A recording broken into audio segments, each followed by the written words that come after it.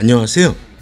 오늘은 괴산군 괴산읍 신기리에 있는 다섯마지기에서 딱 한 평 빠지는 영농용지를 소개해 드릴게요.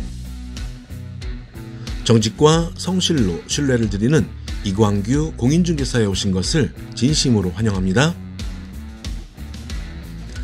빨간색 라인이 오늘의 소개 토지이고요. 새 필지로 되어 있네요. 2차선으로부터 30m 떨어져 3m 농로에 접해 있습니다. 촬영 중인 곳은 괴산군 괴산읍 신길이 마을 앞이고요. 요 앞 토지가 소개 토지인데 도로에서 15m는 매매 대상이 아닙니다. 조 앞에서 우회전을 하여 10여 분을 드라이빙하면 불정면 소재지 30여 분을 드라이빙하면 충주 도심에 닿고요. 좌회전을 하여 5분을 드라이빙하면 괴산 읍내에 닿습니다.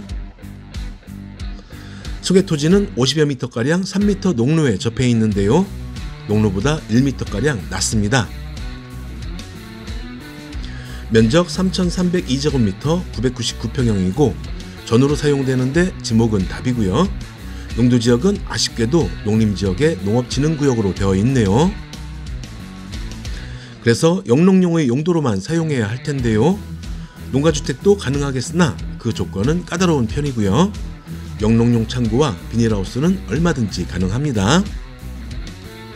위에 보이는 항공사진의 초록색 부분이 뚝 밑까지이고 그 아래의 세모진 부분이 뚝 위가 되겠습니다.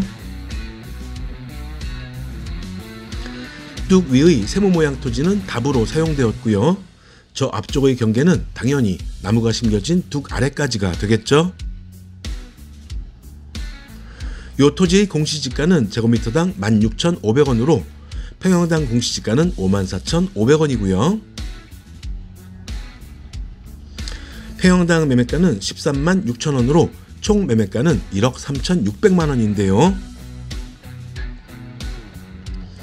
소유주분께서는 공시지가의 3배 가격을 원하셨고 저는 2배 가격을 제시드렸는데 2배 가격은 너무 서운하다 하시어 결국 2.5배의 가격으로 쇼부를 봤다는 거 알려드리고요. 다섯 마지기에서 딱 한 평이 빠지는 999평형의 면적인데요. 위치적으로 보나 용도 지역으로 보나 생긴 것으로 보나 뭐 딱 내로라 할 것은 없지만 혹 괴산 인근에서 영농을 구상하고 계신 분이시라면 요 토지 한번 고려해 보세요. 고객 만족을 위해 1년 350일 최선을 다하는 공인중개사입니다.